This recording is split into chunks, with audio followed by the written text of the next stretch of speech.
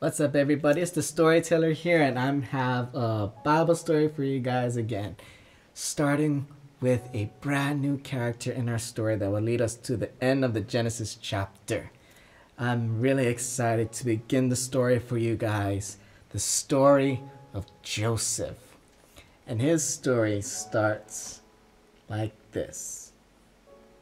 We start our story with Jacob deciding to settle down in the same area that his father Isaac wanted to settle down in.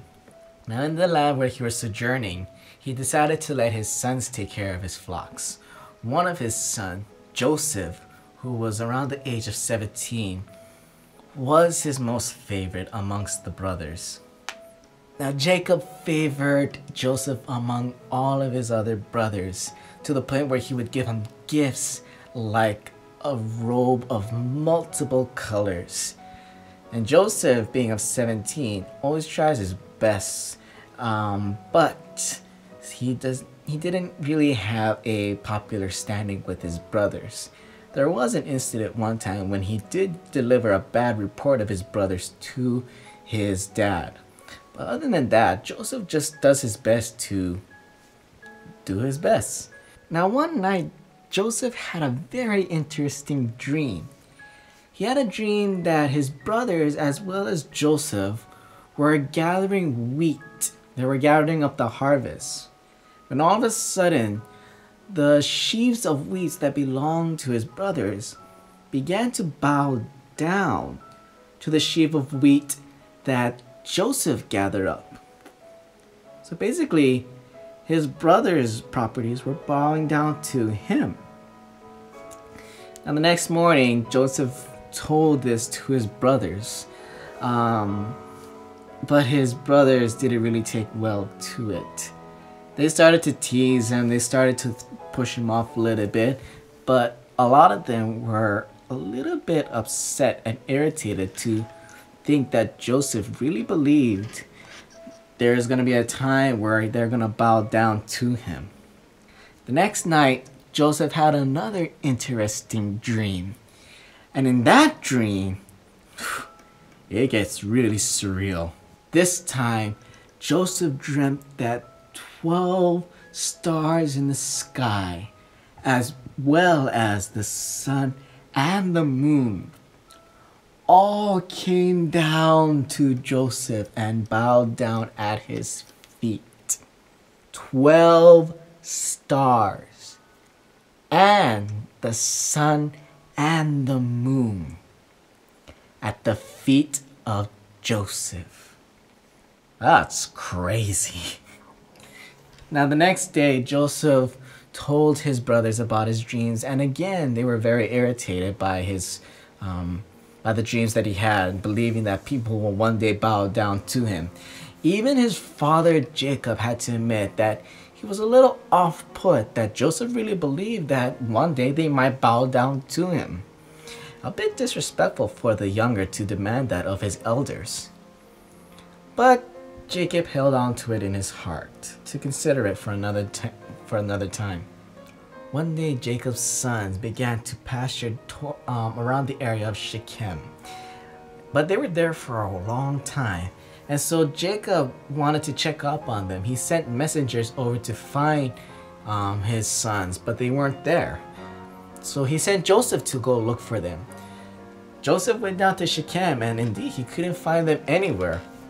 He had to ask a random passerby where his brothers went, if they had seen them, and where they have gone.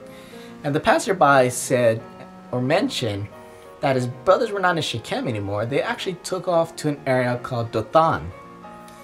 So Joseph started to go over to where Dothan was just to go look for his brothers, since his dad said to go look for his brothers.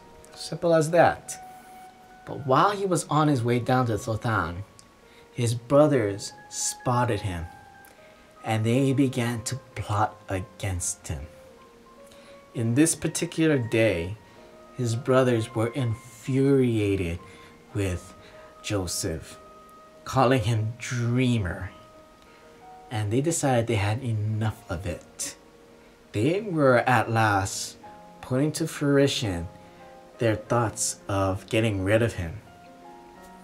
of killing him.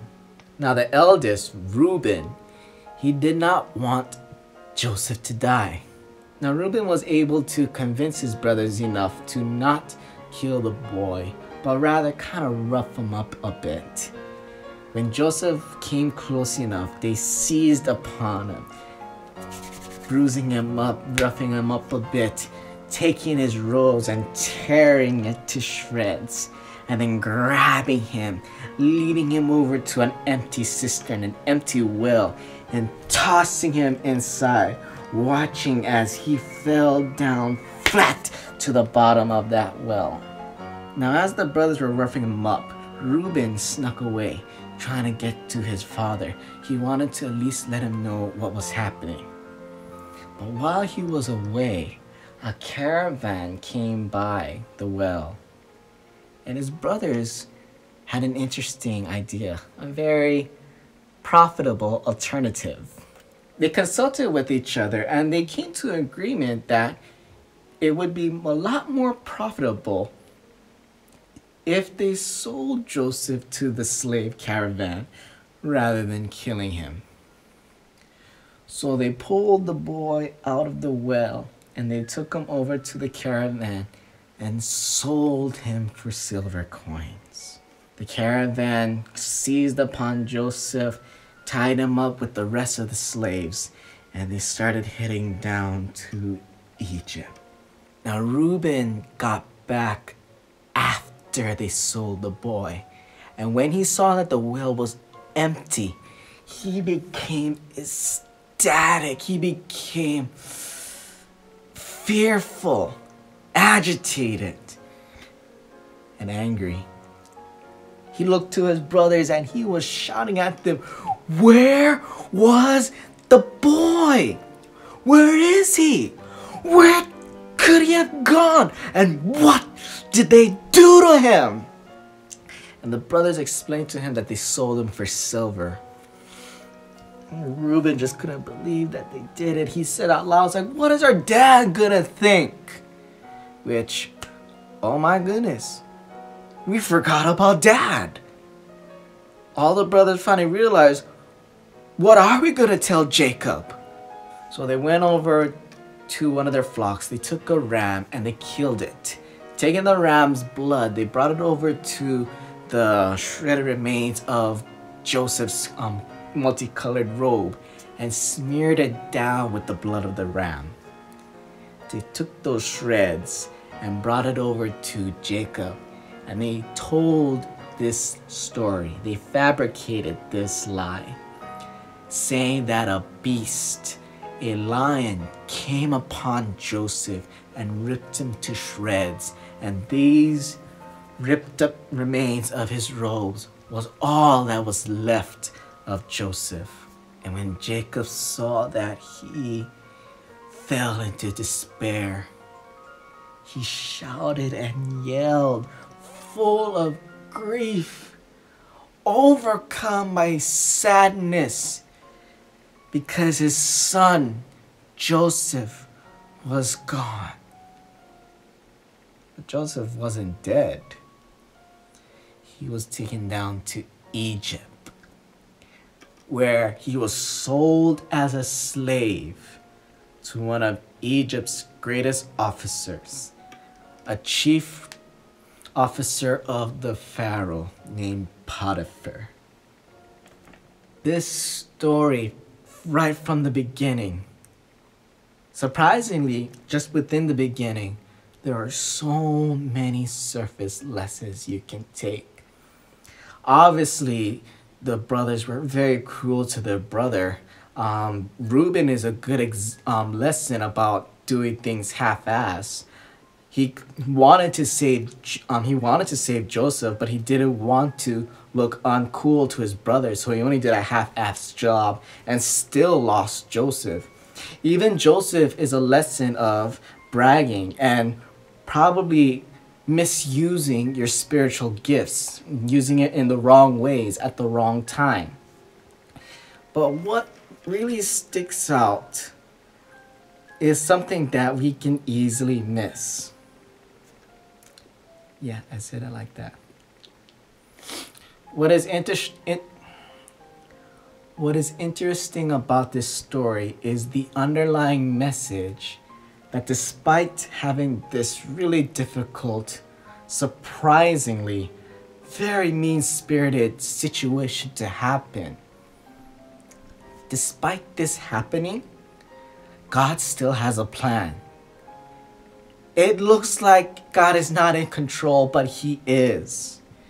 It looks like evil is winning, but it's not. Good is about to win, and good has already won. But it's just so hard to see it when all these bad things happen. And it's hard to wait for the good things to come about. And it's usually situations like that. In situations that we might have where it feels like all the evil in the world is winning. All of our luck is just run out and we're only getting the hard things. It looks like that we're just not going to get out of the hard situations we're in. It's so hard to see that God is still in control of our situations. Joseph had a hard time seeing it, but even he found out that everything works out in the end.